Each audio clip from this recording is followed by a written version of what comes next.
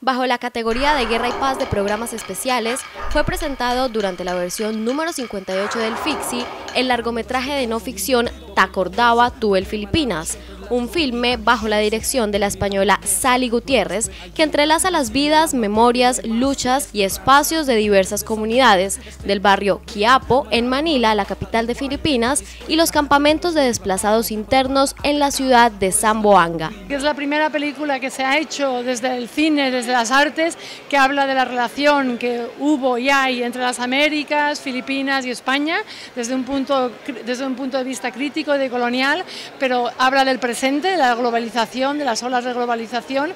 y creo que es muy importante para el público colombiano ver esto porque además va a resonar mucho con ustedes. El nombre de la película está en un dialecto denominado chabacano, el cual solo se habla en el sur de Filipinas, en donde predomina la población musulmana. Este, según la autora, es un cuestionamiento a la población española y latinoamericana. A través de una serie de protagonistas, de participantes, de mujeres maravillosas, de un guía muy divertido, va como desgranando y contando la Filipinas actual, pero también cómo la historia, realmente la historia